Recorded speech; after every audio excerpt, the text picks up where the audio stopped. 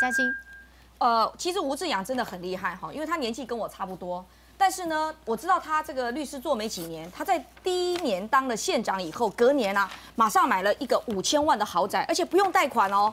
那我徐嘉欣真的很逊呐，我当了十二年的议员哈，我还在贷款呢。姓吴，你姓徐，说的也是吴之阳，真的很不一样。那么呢，我就好好的来帮他检视了一下哈，从他当县长这短短几年当中呢，他在这个时间点。当了县长以后，哇，这个桃园的房地产不得了啊，一路往上涨啊，而且好，但是吴志阳不以此为限，他说，你们都低估了桃园的房地产，觉得贵，没有信心，就不要买啊，不要买啊，他就这么告诉你哈。可是呢，我们帮吴志阳整理了一下，这么不到五十岁的年纪，他的这个同台的台湾头哈，开始走一圈，大家看到哈。他所拥有的房产，包括在我大安区哦，我徐家清哈都被大安区赶出去住不起的。他有好几栋房子在大安区。那我们要问了，吴志阳吴县长，您是何德何能？你也教教我们在场很多年轻朋友啊，他们可是现在都没有立足之地啊，连一个二十二 k 的薪水哈都不一定马上可以找得到，更不要讲说他要在这边有一个房子可以住。但是我们吴志阳呢，哈，从这边一路往前走，虽然有碰到了叶世文的困难。但是叶世文这一百四十三笔仍然没有阻碍他，他还继续往前走，走到这边呢，再碰到谁也无所谓。好，这个副县长李朝之炒对皮、炒糖皮，炒到底也无所谓，再继续往前走，他马上眼看着就要达阵了。达阵了以后呢，那我们桃园呐，拥有三十五岁最多的、最年轻的一个人口的都市，那我们年轻人将来在桃园可以过什么样的生活？可以告诉大家，你呢至少要买四十平以上的房子。你呢，至少要工作三十年以上，而且呢，你一定要贷款，要贷三十年，那你才能在桃园住得起。这就是我们吴志阳啊，继续选市长最重要的一个任务，是要帮助我们的。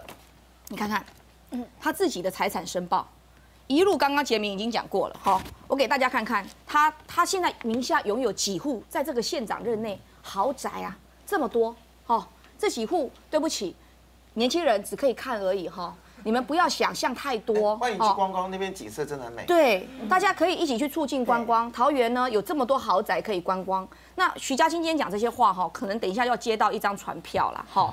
不过呢，我们是为了社会公益，为了桃园呢不会过度哈，因为扛工程的土地炒作，让我们年轻人再也住不起。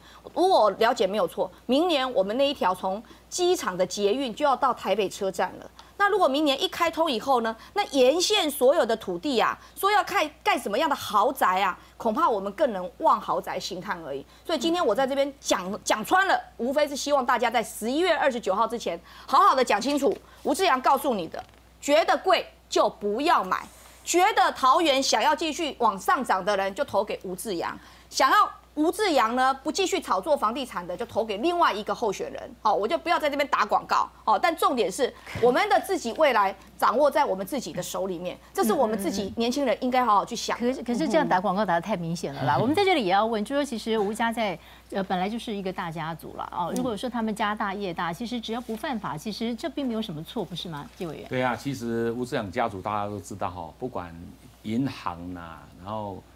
那个汽车公司，然后太多了。听说海外还有一个很大的银行是他们家投资的其实他们他们是政商都做的非常之成功哈。好像其实三代都是公务员，对不对？没错，他他家里很有钱啊，他也做生意啊。虽然很有钱，但是不要忘了，县长他的所有的财产是要信托的。换句话说，这个一定是每笔啊都不能够有问题，不然的话经不起检验。各位想一想，他既是刚刚嘉靖我讲也是律师，而且哈佛大学的硕士哦。其实他是非常，他个人是自奉甚简的，因为他曾经跟我是同事啊。他也跟我讲说，他要干很多。自奉甚简，那他太太最近好像出国旅游，买了一个五十万的包，好像说这个特别费的预算不够去报这个包，所以还要报到航空城去啊。应该他接受检验的，但是应该罪不及妻奴了哈。那我的看法就是说，其实他财产申报，他今天对他今天。这个副县长两个副县长出事，这个大概也破了所有的地方自治史。嗯，还有八个官员，你听我说，而他的民调其实没什么调，就说大家对他人格特质相当的肯定，而且信赖，这个很重要哦。普通上有些根本几乎不用打啦，就像哎，你们花妈我很肯定啊，花妈经经过高雄气爆这么一爆，那普通我看搞不好都倒倒了好几次了，可是他的民调不掉，好像还回升呢。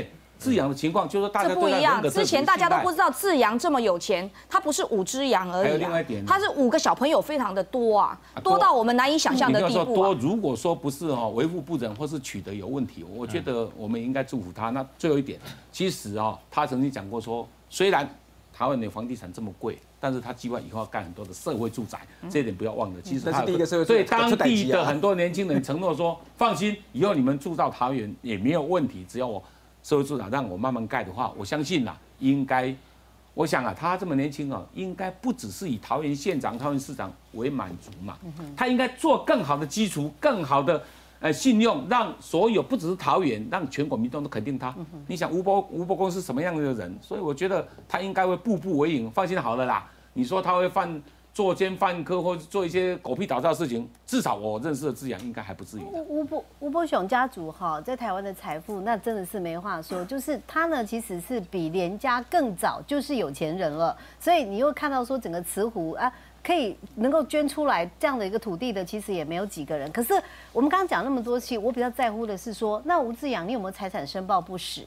哦，因为呢，呃，我们也都知道说，吴家除了在台湾当时把这个新竹国际商银卖掉，卖给渣达之外，他们在美国还有一个富国银行。那这个银行，呃，就比较就是我比较好奇的是说，那难道吴志阳跟吴志刚在你们的财产申报上面零都看不到？这到底是不是真实的状况？还是说，呃，其实呢，你们有已经做好了很好的一个动作？因为你知道，吴家在早期，就是说他们也真真正是常感呃感受到国民党给他们的威胁跟压力嘛。那有一点就是说，他们呢，其实过去那几年比较少在中国做生意，就是跟连家唯一的不一样是，他的中国的生意很少。除了这个吴志刚，后来在我们之前聊过的这个金至尊珠宝。然后吴志刚在这个这里头扮演一个投资人、董事的角色之外，那连家在呃这个吴家，吴家在中国的生意是比较少的。可是我这要说的是，吴志阳他在这么多身边的人都出事的情况下，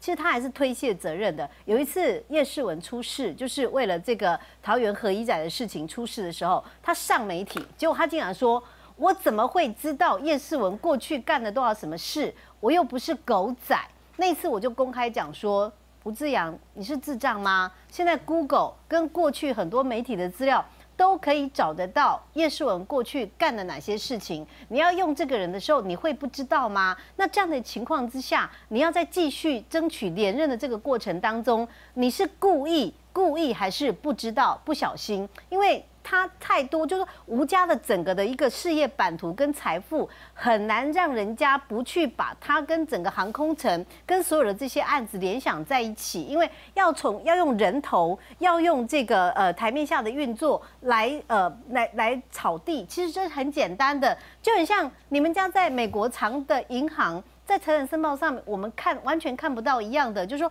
这个要呃对你们来说是易如反掌的，因为这家这几个就跟连家、吴家都一样，他们的财富真的是富可敌国。可是呢，我们一样是让他们在这个位置上，然后呢做好也就罢了，做的不好，做了出了那么多事情，你还有很多的理由，很多的借口。那呃，我只是觉得民进党郑文灿有点不争气啦，也就是说，在在吴志阳这么多这样的一个弊端的情况之下。那民调还是没有明显的一个起色。就如果你现在到目前为止是平分秋色哈，那我觉得说，那这样的话，可能呃文郑文灿的努力，呃郑文灿的这个机会是比较大的。问题是到现在我们比较没有看到博公站出来哦，像连战这样子，什么我不是权贵哦，那我觉得真的是因为呃桃园的选民呃似乎还是。